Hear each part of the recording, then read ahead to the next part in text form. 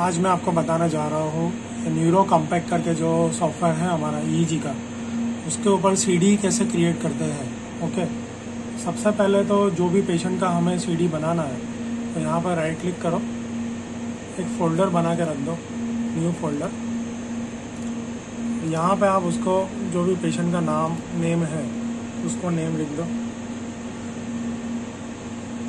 Okay सबसे पहला काम डेस्कटॉप के ऊपर एक फोल्डर बना के क्रिएट करके छोड़ दो ओके फिर ये सॉफ्टवेयर को ओपन करो Neuro Compact double click open यहाँ से नेक्स्ट फिर अभी जो पेशेंट भी चाहिए उसका नाम हम सिलेक्ट कर लो।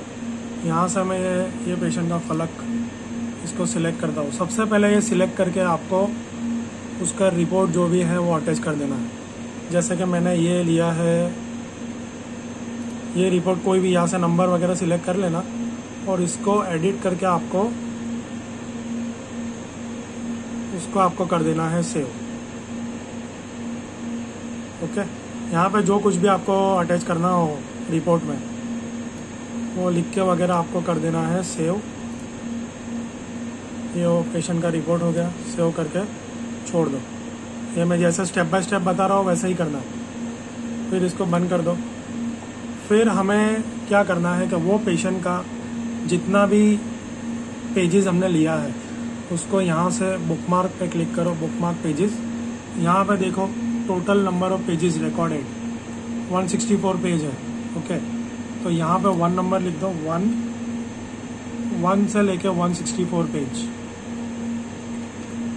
ओके ये पूरा रिकॉर्ड है 164 पेज का, उसको हमने यहाँ पे डाला वन टू 164 यहाँ पे सब है ऑल इसको कर दो अप्लाई ओके? ये पूरा रिकॉर्ड अप्लाई हो गया।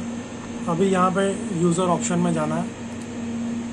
यहाँ से हमें करना है एक्सपोर्ट सीडी ये फिर बोलेगा बैकअप फ़ाइल और यहाँ पे है ओके जैसे ही एक्सपोर्ट होती है, यहाँ पे लिख के आ रहा है कि सी प्रोग्राम में फ़ाइल के अंदर न्यूरो कॉम्पैक्ट करके फोल्डर है। उसके अंदर बैकअप के अंदर आपका ईजी रिकॉर्ड हुआ है। Okay?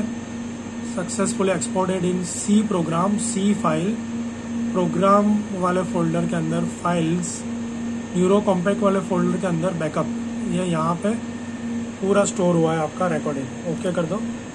अभी इसको एग्जिट कर दो. अभी हम जाएँगे कंप्यूटर में.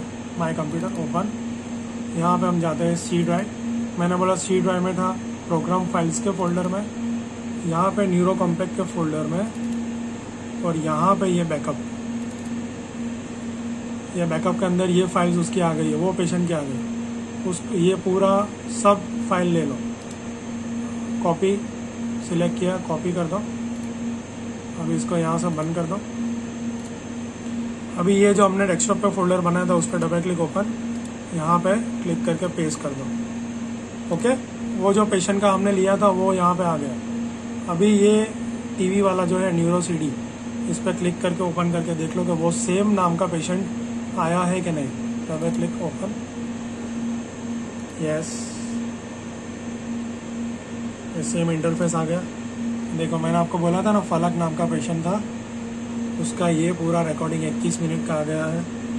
यहाँ पे पूरा अभी व्यू टेस्ट कर दो। मॉन्टेज वगैरह चेंज करके। ओके और यहाँ पे रिपोर्ट भी चेक कर लेना। ये सेम रिपोर्ट आ गया, देखो। ओके तो ऐसे क्रिएट होती है हमारी